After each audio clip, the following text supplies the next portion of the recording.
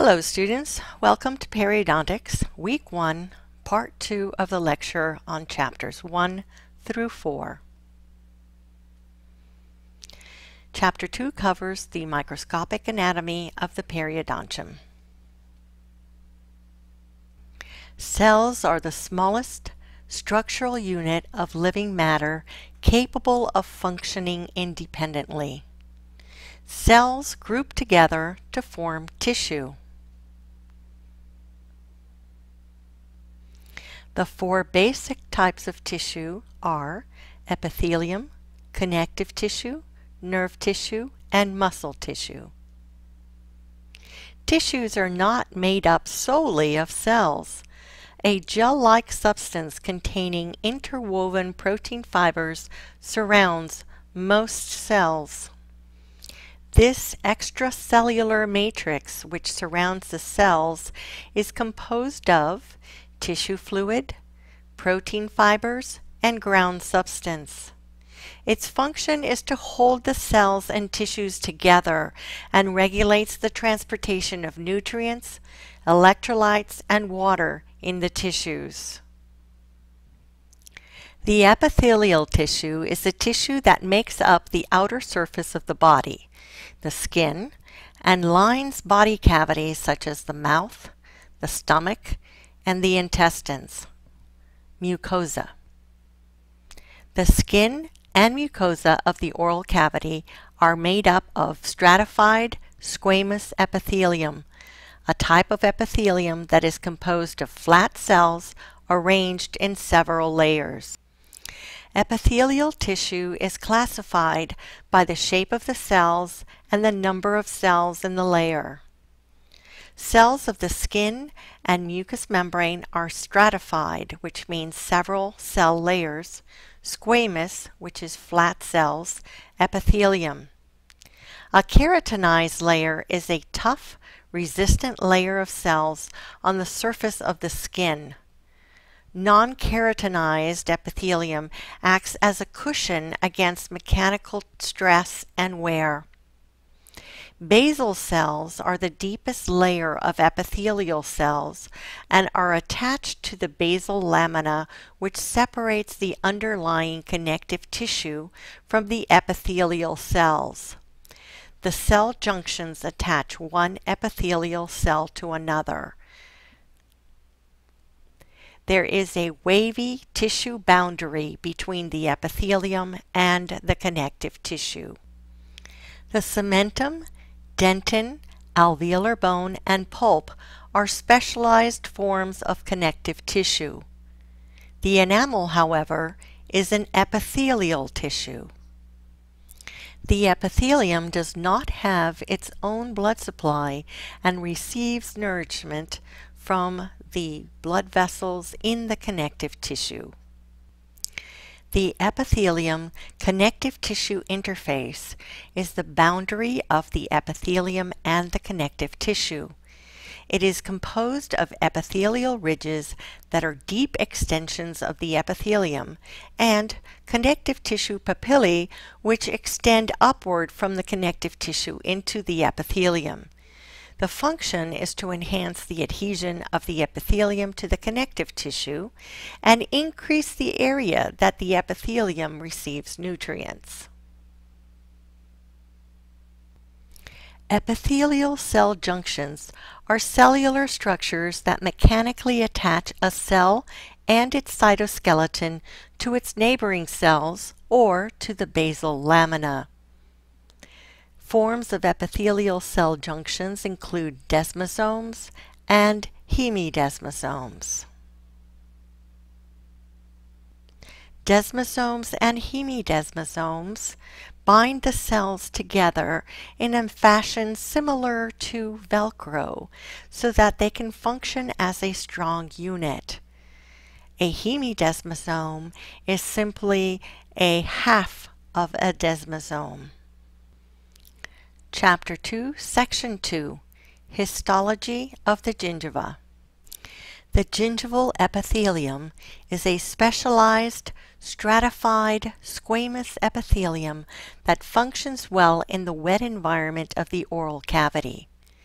The microscopic anatomy of the gingival epithelium is similar to the epithelium of the skin. The gingival epithelium may be differentiated into three anatomical areas. On the diagram to the right, OE stands for oral epithelium, which covers the outer surface of the attached gingiva and the free gingiva. SE stands for sulcular epithelium, which lines the sulcus. JE stands for junctional epithelium, which forms the base of the sulcus and joins the gingiva to the tooth. See figure 2.5 on page 27 for more information. The free gingiva and the attached gingiva are keratinized, and the sulcular epithelium, interdental col tissue, and junctional epithelium are not keratinized. The oral epithelium covers the outer surface of the free gingiva and attached gingiva. It extends from the crest of the gingival margin to the mucogingival junction. The oral epithelium is the only part of the periodontium that is visible to the unaided eye. The oral epithelium may be keratinized or partially keratinized, also known as parakeratinized.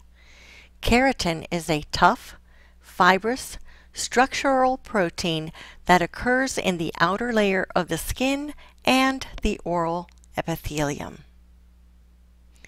In health, the oral epithelium joins with the connective tissue in a wavy interface with epithelial ridges. Sulcular epithelium is the epithelial lining of the gingival sulcus. It extends from the crest of the gingival margin to the coronal edge of the junctional epithelium. The sulcular epithelium is a thin, non-keratinized epithelium.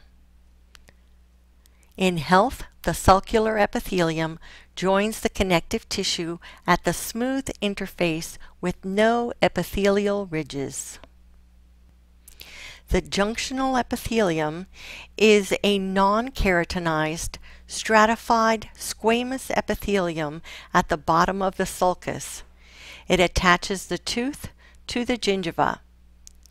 Epithelial attachment is the mechanism that actually joins the junctional epithelium to the tooth. The junctional epithelium plays an important role in periodontal health. It is about 15 to 30 millimeter cells thick and tapers to 4 to 5 millimeters apically. The cells are flattened with the long axis parallel to the tooth. It has three surfaces, two basal laminae, hemidesmosomes, and an internal and external basal lamina, dentogingival unit, and the dental pellicle. It functions to provide a protective barrier between the connective tissue and plaque biofilm. It attaches the gingiva to the enamel and or cementum and activates the body's defense system.